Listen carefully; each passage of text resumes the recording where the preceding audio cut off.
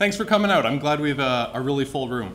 Uh, the company I'm going to talk about is called Rifco. We have a very simple business, and I'm going to talk about three reasons why you should consider investing in Rifco. First, I'm going to talk about where our company is today. I'm going to explain a little bit about what business we're in. We're an auto lender. If you've ever gone into a car dealership and got a lease or a loan, you understand what business we're in, and it's as simple as that.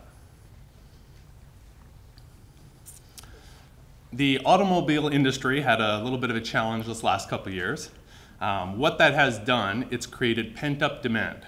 Sales today are below replacement value. So what that means is there's not enough cars being sold today to make up for the cars that are wearing out. Uh, projections are that that pent-up demand is going to translate into exceptionally high sales. So how we compete with very, very large competitors is we specialize as being the high service provider in the industry.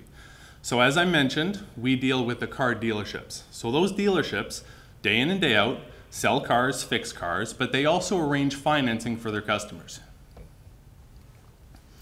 And we focus on the car dealerships because that's where the car loans are. So we provide exceptional service when they contact our office online and over the telephone in order to arrange financing for their customers. So what we do for our car dealerships is we spend a lot of time seeking out in the industry those dealerships that are like-minded. So we're not the biggest. So what we do is we seek out people that see things the same way we do. We're looking for uh, shared values. And that process is long, it's laborious, and it means we actually have a waiting list of car dealerships in every region looking to come on board with our company. And as I mentioned, it's car financing. It's not incredibly complex. I'm sure most of the people in the room here have had an auto loan. Our borrowers, uh, they're average people. Uh, they need their cars to get to work, drive their kids to soccer practice, typical families in Canada. We lend to what we say is the average individual. Now, we specialize in the niche in Canada, those individuals that have had a credit issue in the past seven years. So uh, you probably are aware that everybody in this room has a score associated with them. Some people call it a beacon score or a FICO score, an Empirica score. This uh, segment that is on the screen right now is what uh, the banks would call prime lender. So if your score ranges from say 700 and up, some people would say you're a prime uh, credit quality. We focus on the blue bars there, which is about 33% of Canadians. You'll see there's some overlap into what the banks would call prime. That's who we target. Uh, it's about um, it's about a third of the people that probably live in Vancouver, a third of the people that live in BC. Now this uh, target market, you see it's sort of the middle of the spectrum. Uh, we experienced at the end of the year about 1.8% of our customers were behind in their payments to us. It's not a lot. In fact, it's exceptionally low for us.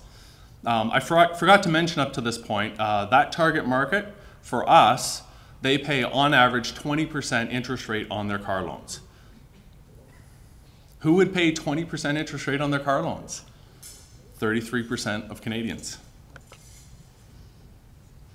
You can see that means 98% of our customers were up to date, paying their bills on time. So if we're going to lend money, we're going to be in the finance business and we're not a bank, our funding is critical. Um, Right now we're lending somewhere between about a million and two million dollars a week. So we have four funding sources. Uh, we're in pretty good shape, lots of capacity. Uh, our funders include the Bank of Montreal, a company called SecureCorp, a credit union in Alberta, and another small bank in Alberta. And uh, we have a lot of unused capacity. So what does this mean? I think talked a little bit about what business we're in and where we are and who our target market is. So, so what? Where do we go from here? Last year, our last reported year, we wrote about $44 million in car loans. Uh, our average loan size is about 17 or $18,000. We focus on like two or three year old cars. Uh, that's a lot of car loans uh, to write. But if we put it in perspective, that uh, segment of the marketplace that isn't prime, estimates are that's a $4 billion a year business in Canada alone for car loans. So yes, I'm going to show you that we have a relatively small market share. Now, what I'm trying to explain here is we're not done. The market's not saturated. We have lots of room to grow. And the exciting thing about our business is that we're profitable and we're growing and we have opportunities to achieve tremendous scale as we grow. So I'll talk a little bit about what our results were last year. Loan originations. This is new loans that we wrote for the year. Uh, we grew 53%. Now it was off a tough year, and the tough year was a result of the credit crisis and uh, the recession. Uh, just about $44 million. Managed assets, that's how many loans we're administering in our office. We get about 6,000 loans we're looking after right now, uh, almost $74 million. You can see that line's going in the right direction. Then revenue, uh, up again, a record number, a little over $16 million. And write-off rates. So when you lend money, you work really hard to collect most of it back most of the time. Uh, we, you can see that we peaked in our credit losses in 2010, which was a tougher year, at almost 6%. So I'll remind you, we lend at 20%, and during what was a very tough year, we lost about 6% in credit losses, leaving 14. That's a very healthy credit spread. If we compare that to prime auto lending, so probably the loans that many of the people in here might have had, maybe you got a car loan at 6.5%, and that target market might have a loss rate of a half a percent, or a quarter of a percent, or a tenth of a percent. But six and a half or seven minus a very small number is six and a half or seven. 20 minus four, five, or six is 14 or 15 percent. Much better spreads. And we made some money. Net income about $2 million for the year. Our market cap today, to put it in perspective, is about $18 million. We set objectives. Every year, we report to the shareholders what management's goals are for the year. We set those objectives in our annual report, and every quarter, we report how we're doing on those objectives. Here's our objectives for the coming year. Record loan originations of $65 million. We're going to grow our loans under management, our assets, to 95 million. We're going to have a record revenue year. We're going to make some money again this year. Uh, to put in perspective, our goal for the last year, where we had that $2 million number, was uh, about uh, 1.5 million. So we passed the goal, we've raised the goal, hopefully we'll raise the top line too. And uh, write-off rates are going to drop this year uh, to 4.2%. So our spread is going to stay healthy. In fact, it's going to grow.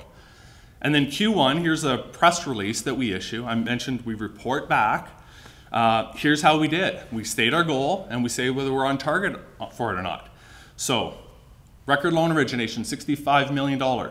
First quarter, 15 almost a quarter of the way there. We expect we're going to grow. We're in good shape. Managed assets, 95 million. We grew from almost from 74 to over 81. Revenue, $4 million. Targets 17, pretty good shape there. Our loss rate, well, we had a, an anomaly in our loss rate for Q1. It was an anomaly to the good. Loss rate was like half a percent. It was crazy low. Um, sets us up good for the year. And net income, uh, we made $677,000 of profit towards a target of 1.6. So again, we're in pretty good shape for that one too. And I want to mention, if you've ever invested in a company where you have trouble knowing what's going on, setting those targets and reporting back to our shareholders, who are the owners of the company, of course, is something we've done uh, since we became a public company. And of course, all that records are historic. I'm not saying we hit every target we ever set, but we do tell you how we're doing. So what's the future? Um, we're going to keep growing, and our target's to get to $100 million a year in new loans. This is in a $4 billion marketplace. Uh, this is not a monster market share. This number is important because at $100 million, we hit the radar of a whole different group of um, people that are interested in, in, a financial way. Let me put it that way. Receivable growth. Uh, we're targeting 95 this year. Um, 100's really not far away there. And here's our credit model, which I talked about.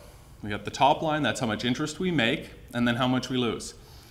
This is strong, predictable credit performance. and I'm going to explain why this is really important, is we got a profitable company that's growing in a large uh, niche, $4 billion niche, and we produ produce predictable credit results. And there's a whole world of financial institutions out there that are working on margins that are this thin, granting mortgages at 2.2%. Um, as we prove scale, we prove our credit model, uh, we become interesting. So what I'm talking about is uh, the value of our platform. Uh, some people call it our secret sauce. This isn't on the balance sheet, but we have a model that's been tested through recession, through credit crisis, that delivers growth, profits, uh, and is scalable. And as we drive that platform value, uh, that drives shareholder value. So why invest in Rifco? In summary, very, very quickly, strong growth profile. We have the ability to grow. We have a niche where we can grow. And we grow in customer service, which means we don't get in a price war with anybody. We have strong profitability. And as any financial institution, the bigger we get, the more economies of scale we enjoy. Uh, I think our profitability levels are uh, only going to grow. And this platform value that I talked about. So by investing in Rifco today, you can invest in a company that delivers this growing profitability for today, which should translate into incremental increases in the share value. But at some point, somebody's going to come along and say, you know, we have a multi-billion dollar balance sheet and we can't get those kind of credit margins doing what we're doing. We want your secret sauce. So at some point, shareholders are going to receive this hidden gem on the balance sheet, which will be unlocked to the benefit of the shareholders. So that's why I think you should consider investing in Rifco today. Thank you.